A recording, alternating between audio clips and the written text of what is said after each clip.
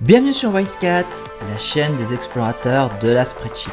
Dans cette vidéo, nous allons réaliser une analyse de données univariées. Le terme analyse univariée, comme son nom l'indique, fait référence à l'analyse d'une seule variable. Nous avons ces données, donc il s'agit de comics et des notes qu'ils ont obtenues. Première étape, la représentation graphique afin d'avoir une première vue sur la distribution de nos données. Je vais sélectionner la colonne des notes, je vais aller dans Insertion et je vais aller dans Graphique statistique, sélectionner l'histogramme.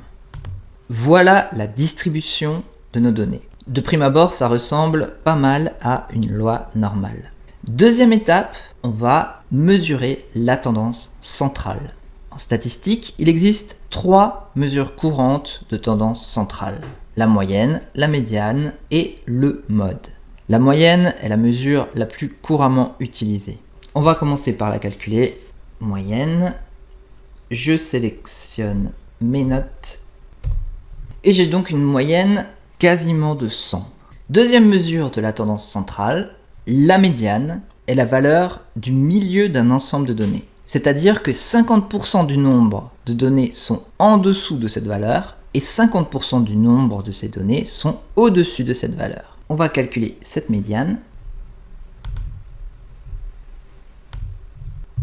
Elle est très proche de la moyenne. Une des caractéristiques de la médiane par rapport à la moyenne est qu'elle est moins dépendante des valeurs aberrantes. Imaginons qu'on ait un certain nombre de comics avec une note largement supérieure à la moyenne. Je vais par exemple mettre ici 999. Vous voyez que ma moyenne a évolué, ma médiane pas beaucoup. Je vais rajouter des valeurs aberrantes. J'ai placé plusieurs notes à 999 ma moyenne est passée à 122 alors que ma médiane est toujours autour de 100. La médiane est moins sensible aux valeurs aberrantes et par exemple pour l'INSEE on parle de revenu médian tout simplement parce qu'il y a des personnes très riches, par exemple Bernard Arnault va tirer le revenu moyen vers le haut alors que ce n'est pas vraiment représentatif de la tendance centrale du revenu des Français. C'est pour ça qu'on parle plutôt de revenu médian. Dernière mesure de la tendance centrale, le mode. Le mode est la valeur qui se produit le plus souvent dans un ensemble de données. Égal mode, mode simple. Mes données sont ici.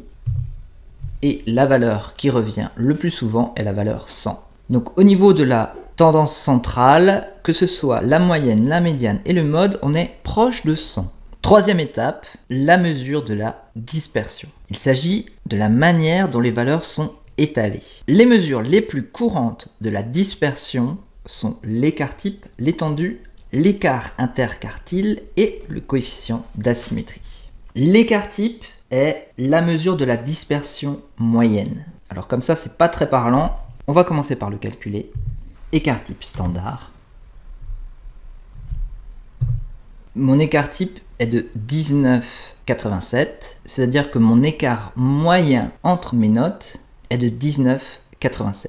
Je vous propose de voir ce que ça fait quand on change l'écart type. Donc ici j'ai une moyenne de 100 et un écart type de 50. Si je passais l'écart type à 100 par exemple, mes données sont plus dispersées. Et si je passais à 500, elles seraient encore plus dispersées. Voilà ce que mesure l'écart type. Deuxième mesure de la dispersion, l'étendue. L'étendue est simplement la différence entre la valeur maximum et la valeur minimum. Pour la calculer, je vais commencer par rechercher le maximum dans moins le minimum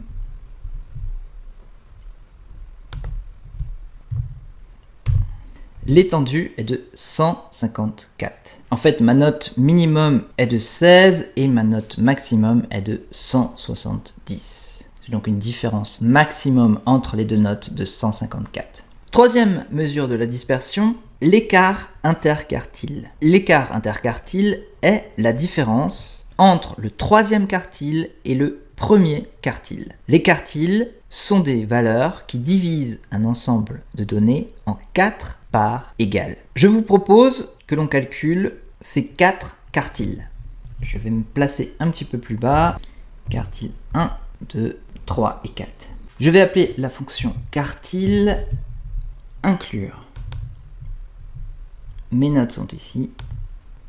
Et je souhaite le premier quartile. Un quart de mes notes sont inférieures à 86. Je vais faire la même chose pour le deuxième quartile. Je vais simplement copier la formule vers le bas 50% de mes notes sont inférieures à 99,74. Le deuxième quartile est égal à la médiane, c'est-à-dire qu'on a 50% de notes inférieures à cette valeur et 50% de notes supérieures à cette valeur. Troisième quartile, 113 et quatrième quartile, 170. L'écart interquartile est la différence entre le troisième quartile et le premier quartile c'est-à-dire cette valeur moins cette valeur. On a un écart interquartile de 27. Qu'est-ce que ça veut dire? La moitié de nos données sont comprises dans un écart de 27. Nous avons quand même quelque chose d'assez homogène. Dernière mesure de la dispersion, le coefficient d'asymétrie. Le coefficient d'asymétrie est une mesure de la forme de notre distribution. Si la forme tend vers la gauche, nous allons avoir un coefficient d'asymétrie positif. Et à l'inverse, si la forme tend vers la droite, nous allons avoir un coefficient d'asymétrie négatif. Je vous propose qu'on le calcule et ensuite on verra ce concept un peu plus en détail. Égal coefficient d'asymétrie. Mes notes sont ici. J'ai un coefficient d'asymétrie très proche de 0 légèrement positif, donc mes données tendent très légèrement à être distribuées vers la gauche.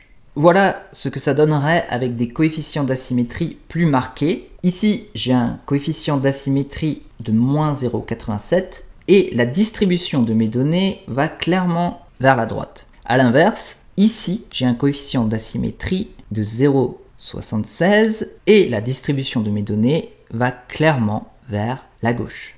Voilà pour ce concept de coefficient d'asymétrie. Si ce thème vous intéresse, j'ai une autre vidéo sur l'analyse de données descriptives univariées, cette fois avec un outil d'Excel qui s'appelle l'utilitaire d'analyse. C'est tout pour cette vidéo. Si vous avez des suggestions de vidéos, que ce soit sur Excel, Google Sheet ou Power BI, laissez-moi un commentaire. Et d'ici là, n'oubliez pas que je suis Spreadsheetman.